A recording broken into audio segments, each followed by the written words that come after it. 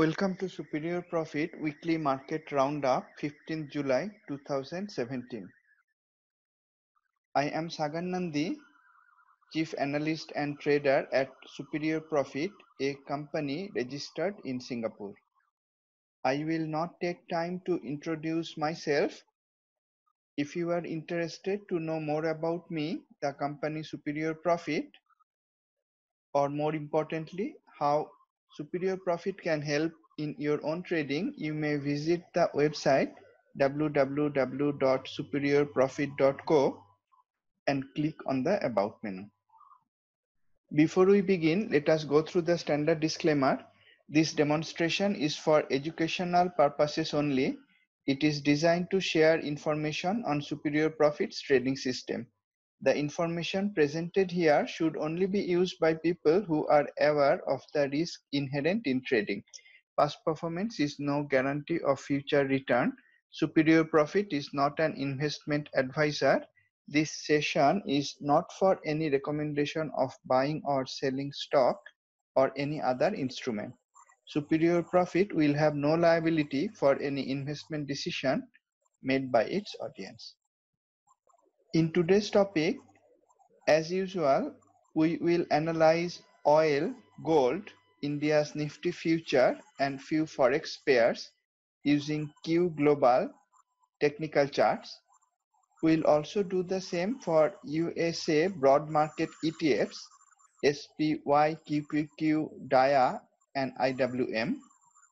Before going into broad market internal analysis, sector and industry analysis using graphs and ranking table. Along the way, we may look at some of the trades posted in the traders community since our last class and we will look for potential trades for the coming week. That was the last slide of the presentation. I will now move to live system. We start with US oil we have been tracking US oil in our last two classes. Initially, we mentioned that it was overbought, indicated by the stretch dot on top of the daily candle. And we said that is not an optimal place to buy US oil. Subsequently, we discussed that if US oil came down and tilted up, it would give us a go with flow trend following long trade opportunity. That opportunity came this week at this cyan color candle. We could take a long trade right at the close of that candle, placing stop just below recent low and setting our profit target to the declining yellow direction line or the watermark resistance level. As of Friday, as price came very close to those target levels, we would book profit in US oil swing trade. At the right end of the chart, US oil is overbought again as indicated by the stretch dot on the candle. So we will refrain from taking any trade as of Friday's close. We now look at gold. In the last session, we had discussed that if price went below this watermark support level and went back up then we might have a sideways market box long trade opportunity. That opportunity came on this yellow candle. You could take the trade at the end of this day or you could take the trade next day using real time fine-tuned chart. It was also accompanied by heavy activity in the daily chart. Since then, price has gone up. At the right edge of the chart, gold has already moved up significantly. So we will not look for taking any long trade right now. From here, if gold tilted down and then went back up, it would give us a go with flow long trade opportunity and we may wait for that. Let's now move to India's Nifty futures. India's Nifty futures is going up with higher lows it was moving somewhat sideways in terms of highs, but this week it strengthened and went up. At the right end of the chart, price is above upper boundary line. It is overextended to the upside. So we will not look for any long trade right now. And as price is in uptrend, we are not going to look for any short trade either. Let's look at Sing dollar. This week, Sing dollar tried to go to the value area and then tilted down again. On this magenta color candle, Sing dollar gave a go with flow trend following short trade signal. Using real-time chart, one could enter short somewhere in the middle of the candle and since then for two days price went down. As of Friday on this candle the trade had significant profit and one could book profit without holding it across the weekend. Let's look at Australia dollar. Australia dollar also had a very profitable swing trade this week as of this cyan color candle, it had a valid go with flow long trade setup. One could take the trade either in the middle of the candle using real-time fine-tune chart or at the end of the candle using end of day chart. Stop for the swing trade would be just below recent low that was never hit. Instead, price went up and on Friday hit the upper boundary that is the profit target for swing long trade and the trade would be exited with profit. Let's now move to USA market and look at the broad market ETFs. We start with SPY. This week, SPY came to the yellow direction line, made a bullish shape candle and since then went up. It ended the week with a new all-time high. In the daily chart, we can see SPY is overbought indicated by the dot on top of the candle. The week ended in the backdrop chart with cyan color that is also bullish. SPY is already overbought as of Friday's market close, so we'll not try to take any long position right now. And because it is going up we will not take any short trade either. If next week SPY tilts down comes back inside the watermark resistance level then it may give us a box short trade opportunity provided all the conditions of the unambiguous checklist are met. Let us look at DIA, Dow Jones Industrial Average chart is also similar to SPY. It made a bullish shape candle and since then went up. As of Friday's close, it made a new all-time high. At the right side, DIA is overbought as indicated by the stretch signal on top of the candle. In the weekly backdrop template, DIA ended the week with cyan that is bullish color candle.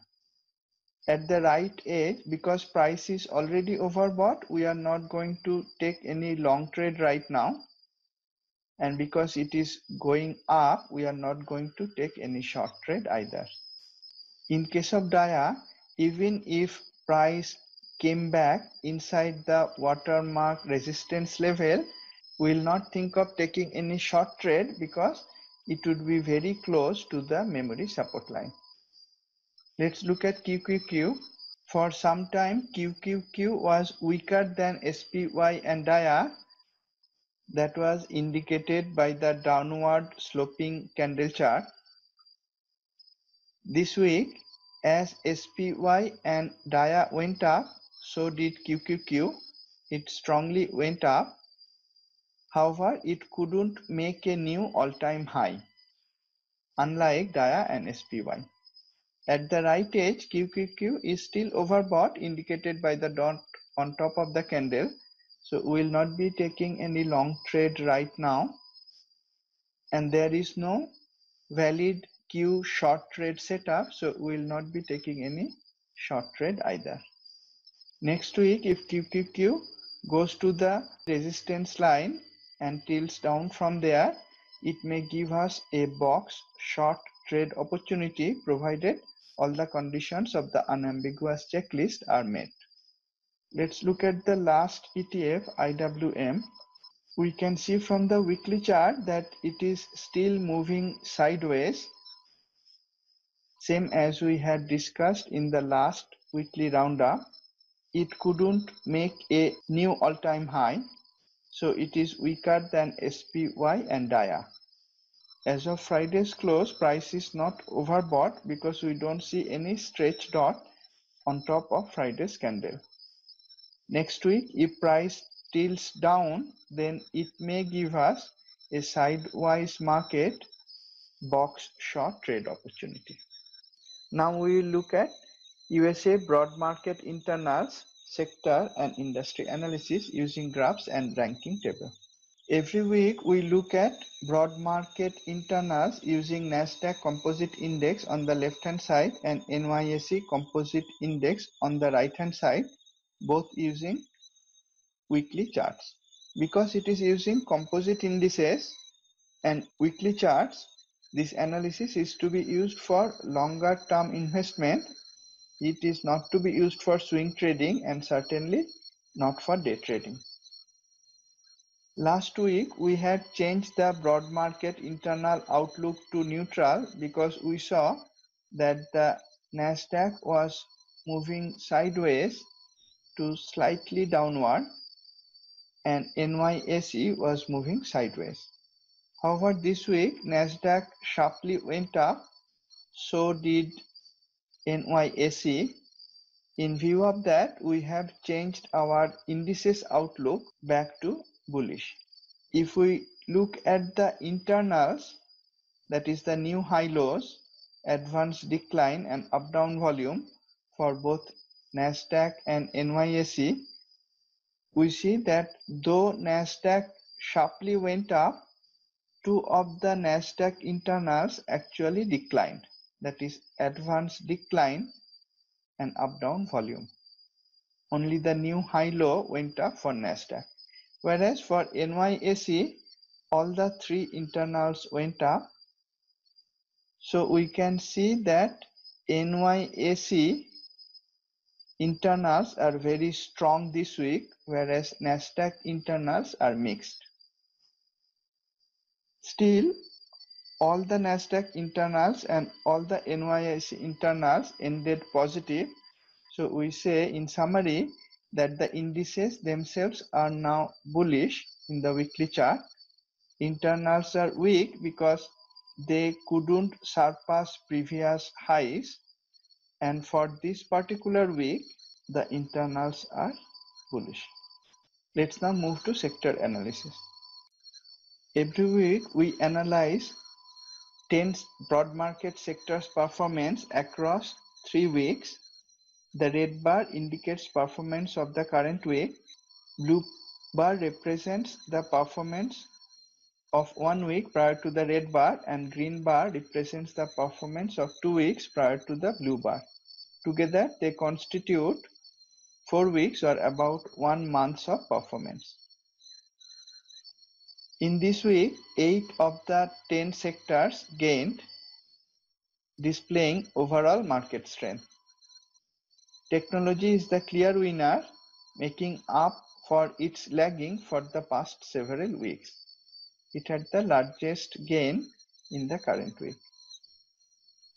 If we look at industrials, two weeks ago we saw that several industrials improved in rank and if that happens, we can anticipate that in subsequent weeks, it will be one of the top performers.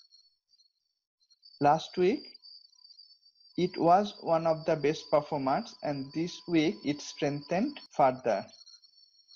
Showing again the value of studying the rank improving industries every week. Financials is the only sector that is now positive for all the three review periods. In fact, it is now positive for at least four successive weeks. So financials had been strong. Some of the banks started announcing earnings this week and after the earnings also financials continues to be strong. Among the decliners, we see that telecom and non-cyclicals are now down for all the three review periods. Both are considered to be defensive sectors. Telecom is now lagging for many months. When telecom starts to go up using this sector analysis and our industry analysis, we will be able to catch the bottom of the stocks in this sector. Let's now move to industry analysis. We are looking at the best performing industries of this week. Renewable energy equipment is the top performer. Looking back, can you now see that through this industry analysis in the weekly market roundups, combining Q Edge, Q Vital and Q Global, you could catch the very bottom of First Solar when others probably never thought that it is going to go up. Since we identified this on 27th April, First Solar has gone up by more than 45% as of today in two and a half months. This 360 degrees analysis technique is very useful for long-term investing like was in this case of First Solar and also useful for swing trading. Let us have a look at the community post where we shared the First Solar trade idea on 27th April. This is the trade idea on First Solar that was published. At that time, the First Solar chart looked like this. In the weekly chart, it had gone up from the false downside breakout at the watermark support level, displaying a bull release signal. The weekly candle color was cyan, that is bullish. In the daily chart, at that time, it had gone up after making a higher low and the move was accompanied by very high activity. Let's have a look at First Solar as of today. This is the chart of First Solar as of market close 15 July 2017. We had shared the long idea in First Solar around this time. Since then, First Solar strongly went up, giving us significant profit in last two and half months. This is one of the typical examples where we use sector industry analysis using Q Edge, chart analysis using Q Global, and fundamental analysis using Q Vital to catch the very bottom of a fundamentally strong stock and we catch it just as it starts to go up. In the traders community, we have many such examples. Let's return back to industry analysis. If we look at gold mining, last week gold mining was among the best ranked improvers. Based on that, we would expect that gold could be one of the best performers this week and that came to be true. Q Edge rank improvement study technique paid handsomely again. Like we did for First Solar, what about gold miners? Do you know which are the fundamentally strongest stocks in the gold mining industry in the USA? Let us use Q Vital fundamental analysis to find that out. Here we are looking at Q Vital fundamental analysis on the root stock HMY that is Harmony Gold Mining Company Limited. We are looking at 25 of its peers in the same industry group. We can instantly see from the color coding that HMY has moderate earnings quality in terms of relative value compared to its industry peers it has the best possible score that is 100 in terms of intrinsic value it again has the best possible score of 100 and on top of that it has a high short squeeze potential again with the best possible score of 100 also from EV EBITDA and PE we can see that the stock is attractively priced. Looking at the dividend yield score, we see that it pays very nice dividend compared to its peers. We have only one other stock that is paying higher dividend than HMY. So in summary, in terms of fundamentals, we see that it has good earnings quality, it has optimally priced, it has a potential for short squeeze, and it also pays some dividend. So fundamentally speaking, HMY seems to be one of the strongest gold mining stocks in the USA market. Let's look at HMY's chart using Q Global. This is the chart of HMY. We can see the weekly candle ended with cyan color that is bullish. It also displayed a bull release signal, the up arrow. In the daily chart, we see that after a sharp drop, HMY has stabilized for last few days. It has created a higher low that is indicated by the memory support line. As of Friday's market close, it has a cyan color candle, so it seems to meet all the requirements of go with flow swing long trade setup. In summary, HMY is in an industry that is gaining strength, that is gold mining. Its fundamentals are strong and technically also the chart is showing that it may go up. This is the 360 degree analysis that we use using Q systems to find optimum trading opportunity. You may keep an eye on HMY in the coming week. We go back to industry analysis. We went through the five days best performing industries. Let's now look at the five days worst performing industries. This week, we see the worst performers are spread across diverse industries. There is no visible pattern. Apparel retailers is one of the worst performers this week. They were among the worst rank decliners last week. So again, studying the rank decliners could help us anticipate that apparel retailers will go down this week and that came true. We had discussed several fundamentally strong stocks in the apparel industries like L Brands and we had also shared a blog on L Brands earlier explaining the potential for a long trade in that stock. L Brands actually went up and gave some handsome profit in last two days. This was a long trade taken using Q bounce trade technique.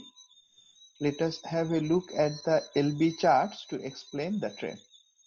In Q technique, bounce trade setup is an exhaustion based trade setup.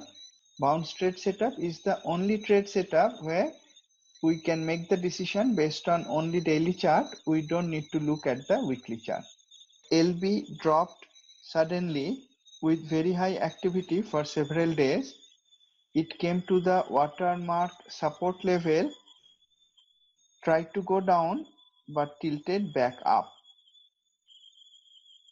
Because it was dropping suddenly with extreme activity and it was near an established support line, on this yellow candle, all the unambiguous checklist conditions for bounce trade setup was met. So one could take a long position in LB either using stock or in these situations, it is also very profitable to take the long position using short put vertical. For next two days, price went up and by Friday's close, the short put vertical will be very profitable. Let us go back to industry analysis again.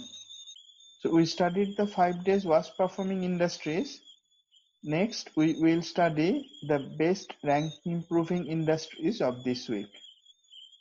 This week, the rank improvers are spread across diverse industries. There are two auto-related industries, automobiles and automobile parts, both of which improved rank significantly. Let's have a look at Ford company. it gave us an easy go with flow long swing trade opportunity this week. We are looking at Ford using daily hop on template. As of Monday, we can see that price was at pendulum low indicated by the thumbs up signal.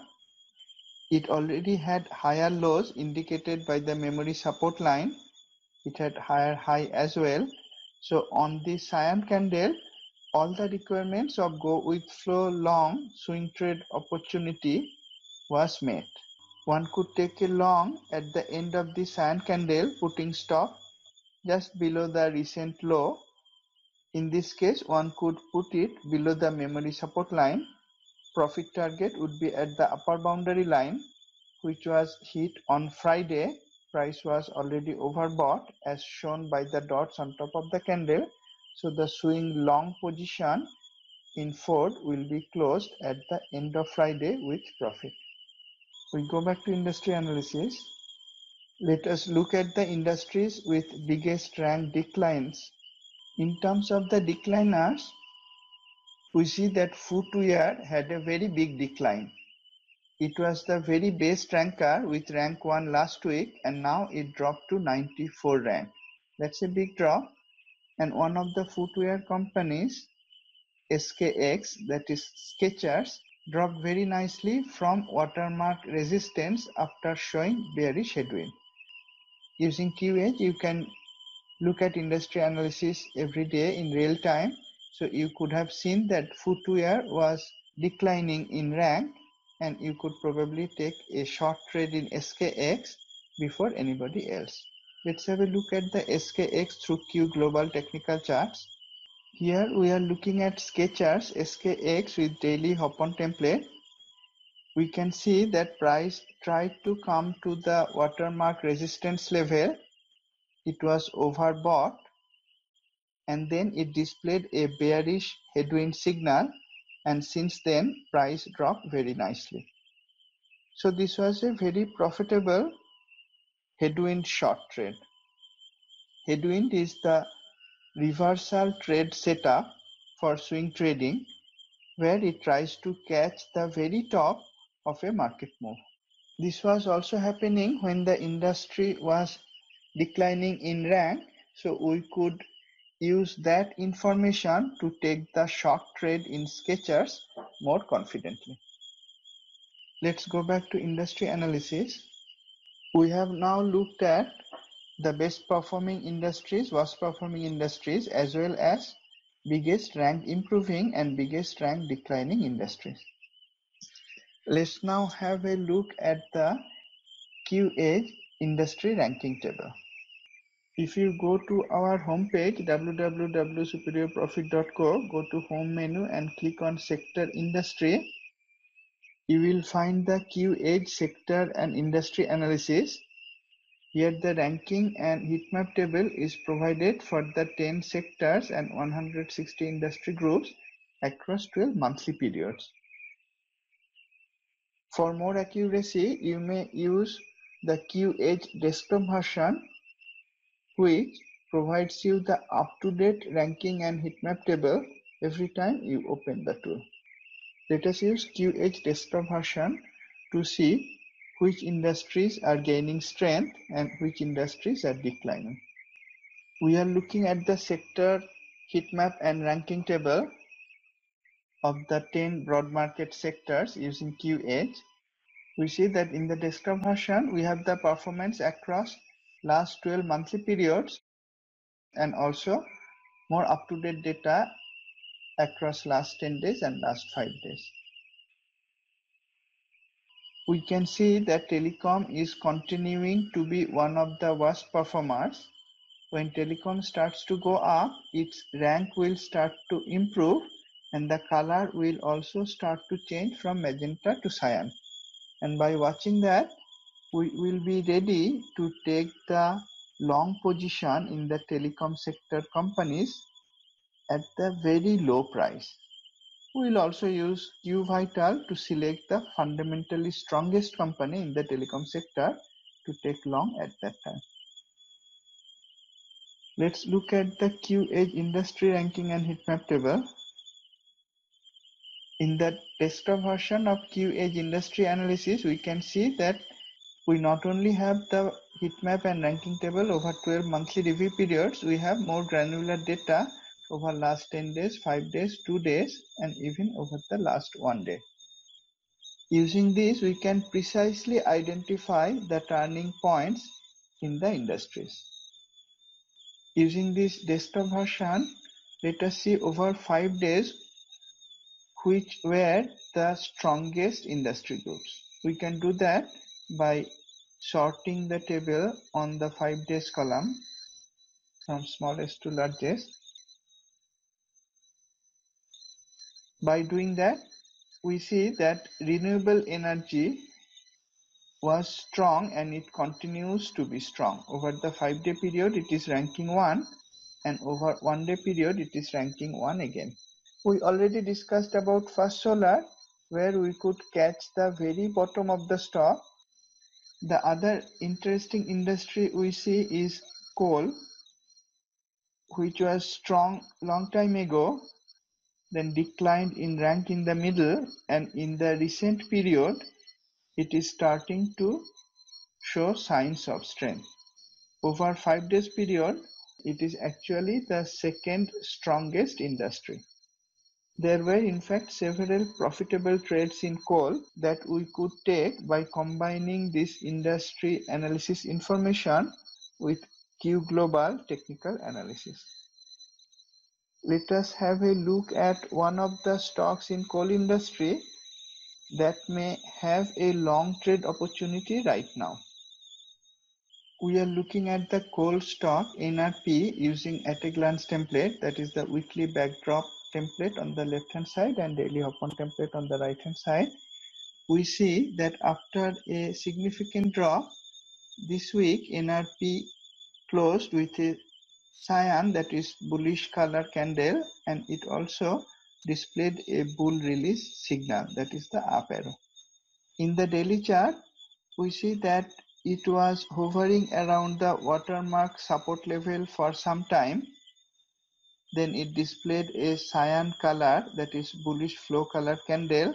Next day was a bullish shape candle thursday. And on friday it broke out of the memory resistance line. If somebody was watching nrp one could enter long in nrp on friday using real-time fine-tune chart somewhere in the middle of the candle. By end of friday he will already have some profit the stop for a swing trade could be put just below the recent low and one could try to book profit somewhere near the upper boundary and the next target will be near the white direction line. If coal continues to become stronger, then looking at the weekly chart, we see that there may be significant profit potential in this long trade. This is again another example where by looking at industry analysis and technical analysis, we could find a trade right at the point it was breaking out from a base. What about its fundamental? Let us use QVital to check that out. Here we are looking at NRP, that is Natural Resource Partners, and 15 of its industry group peers. Using the color coding, we can instantly see that NRP's earnings quality is very strong relative to its industry peers. It has a score of 100. That is the best possible score. In terms of internal value also, it has the best possible score of 100. On top of that, it has a short squeeze potential. So this is one stock where industry strength is in favor of taking a long trade. Technical chart is showing that it is breaking out of a base and fundamentally also it is pretty strong. Let us close today with one last stock that is cake. Let's start with its fundamental analysis. Here is cake that is cheesecake factory and 25 of its peers using QVital. We can again instantly just by using the color code see that in terms of earnings quality, it has a score of 100. That is the best possible score. In terms of relative value, it is strong again, indicated by the blue color. In terms of internal value also, it is strong. We can see the same valuation strength by looking at EV, EBITDA and PE score. So fundamentally, we can see compared to its industry peers, Cake, that is Cheesecake Factory, a quite well-known company in the US, is one of the strongest. What about its technical chart? Let's use Q Global to analyze that. We are looking now at Cheesecake Factory using weekly chart on the left hand side and daily chart on the right hand side. In the weekly chart, we see that Cheesecake Factory dropped a lot. It came right to the watermark support level and it ended the week with a neutral that is yellow backdrop color candle. In the daily chart, we see the same drop. At the right edge, the stock was forming a base. On Friday, it tried to go up, but it ended the day with an upper tail. On Monday, if the stock starts to go up, that may be a low risk opportunity of entering long in Cheesecake Factory. You may use Q Edge to check out the strength of this company's industry, that is restaurant industry. And if industry also shows strength, then you will be able to combine the three factors together again. That is all that I plan to share in today's session. Thank you for joining and I look forward to seeing you in our next session. Have a great weekend and trade profitably.